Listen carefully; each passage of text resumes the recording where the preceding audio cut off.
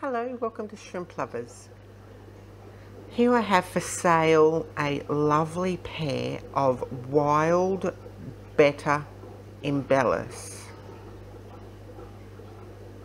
As you can see this beautiful pair, there's the lovely little boy.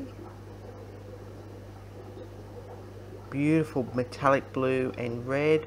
There's the lovely little girl at the back. So wild betta imbellis are native to Kuala Lumpur. Also found in northern Sumatra. They're found in the little rice paddies, swamps and also roadside ditches which of course would make these bettas tough as nails.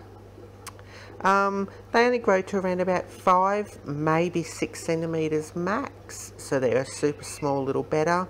Um, a two foot tank would be plenty big enough for a pair. Um, of course, heavily planted, so the female has an escape away from that boy. Um, you can keep them in a larger group, but obviously you just need a larger tank.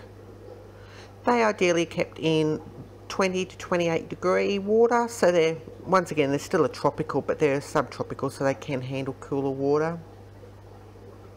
pH, once again, is quite diverse but still acidy so it's between 5 and 7.5 um, food for these little guys obviously they're only small so small food like frozen daphnia frozen brine shrimp bloodworm um, live or freeze dried blackworms mosquito larvae.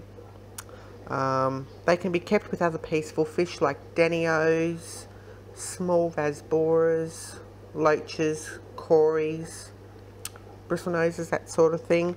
Now breeding these, they are a bubble nester. So that beautiful little boy there, he will build a bubble nest and then he will court the little female and they will spawn and he'll put the eggs in the bubble nest and they normally are free swimming after about one week.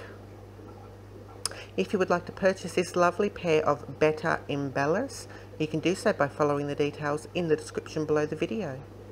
Thank you so very much for watching. Please take care. Bye bye.